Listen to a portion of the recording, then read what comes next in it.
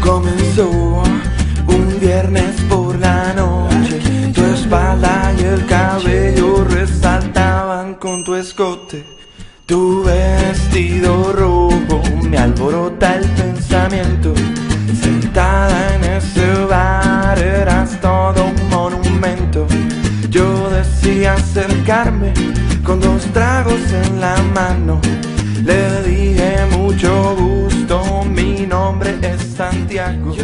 No les quiero contar.